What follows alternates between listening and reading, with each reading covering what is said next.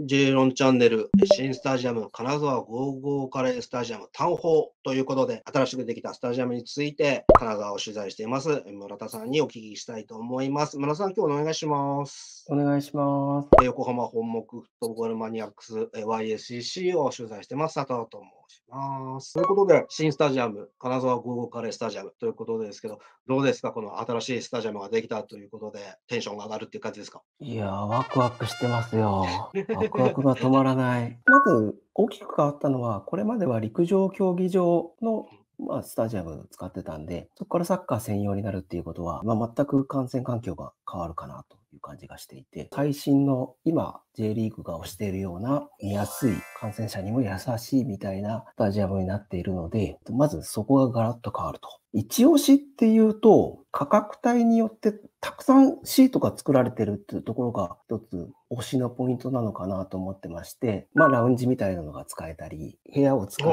て、そこから座席に出られたりもしますし、控え室みたいな部屋っていうのが選手の入場口に近いところにあって、選手の入場する様子とか見られるっていうシートもありますね。畳のシートとか。え、畳？畳シートとか、ソ,、まあ、ソファーが置いてあったりもしますし、はい、お子さんが遊べるようなキッズスペースがあるんですけれども、の間近にテーブル席があったりして、遊ばせながら観戦もできたりする。まあ、いろんな目的、家族構成、あとは価格帯ですね。そういったものに合わせたバラエティ豊かなシートがあるっていうのが一つ、一押しなんじゃないかなと思ってます。ちなみにこの立地の方なんですけど、アウェイのサポーターってはすごい気になることだと思うんですけど。新しいスタジアムは金沢駅からも3キロぐらいだったんで、まあ歩いて行けなくもないですし、あとはその金沢駅の隣に東金沢駅っていうのがあるんですけど、そこからだと2キロぐらい、20分かからなくて行けるんじゃないかなっていう。まあ歩いても行けるし、シャトルバスも出るっていう話なんで、アクセスは抜群に良くなったのかなと思います。畳席があると思いますけど、他にもその、どういった何か新しくなったところというのは何かありますか？石川県って雨の多い地域、まあ曇りも多いんですけれども、地域なので、屋根があるっていうのはかなり大きなことだと思ってまして、前から7列目とか8列目ぐらい濡れないっていう話を聞いてるので、相当前の席以外はかなりカバーできているっていう話は聞いています。新しく見に来る人にとっては、まあそれが一つのハードルだと思いますんで、屋根がついてるっていうのはかなり大きいのかなと、新規取り込むっていう上では思います。客席からどういうふうに見えるのか、その見やすさみたいなの大事だと思いますが、ここに関してはどうでしょうか？まあサッカー専用なんで、見やすいです。2階席の方がちょっと勾配がついてる感じなので、上の方に行ってもちょっと見下ろす感じで見やすいかなと思います。ピッチサイドシートがこう常設されてる感じなんですけれども、アップする選手、手を伸ばせば届くぐらいの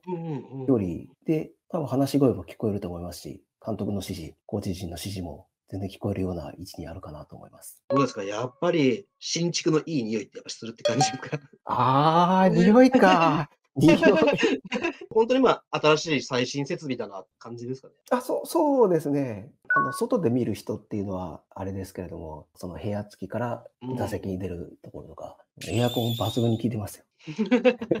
全部戸籍になってまして、まあ、ドリンクホルダーもついてますし、最近のスタジアムで当たり前なのかもしれないですけど、そういったところ変わっているのかなと思います。うん、あとは、2階階段登ってって、こう、ゲート入る感じなんですけれども、登る途中からずっとピッチが見えている感じなんですよね。コンコースからもずっとピッチが見えている感じなんですよね。入った瞬間から出ていく最後までずっとピッチが見えている感じなので、例えばトイレ途中で行こうと思っても、ピッチの熱気、音を感じながら行ける、ずっと興奮を持続したまま見られるスタジアムだなとは、個人的には感じてます。そのスタジアムが2節ですか ?3 月3日が一応公式戦としては最初ってことですね。はい。あとは、うん、えー、開幕の1週間前に、はい、えー、富山を招いてこう、オープニングマッチというか、プレシーズンマッチを計画しています。そこが試合を行う初めてのとなるので、応援がどういうふうに聞こえるのかとか、まあ、いろんな楽しみなところはあります。またあれですよね、お正月にちょっと大きな地震があったということもあるので、スタジアムはそういうえ避難場所みたいなものを活用できると思いますので、そういう価値もあると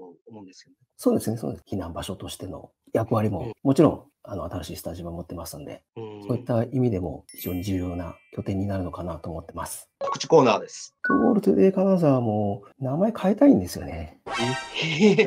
先ほど、ほら、本目マニアって短く言ってくださいみたいな話してたじゃないですか。長いから。いや、なんかこれももっとシンプルな名前にすればよかったなと思って。制限金沢を中心に練習公開されてるときは、毎日こう練習場に行って、レポートしたり、選手の声拾ったりしてますので、まあなかなかスタジアムに行けないとか、練習場に行けないっていう人も多いと思いますので、興味のある方は登録していただければなと思います。先ほどご紹介していただきました 本目マニア、え YSCC 横浜のえサイトをやっています。練習、試合、え選手のコメント等、監督のコメントなどいろいろ掲載しますので、ご興味がある方はよろしくお願いします。では、新しい新シーズンをその新しいスタジアムでということで、ワクワク。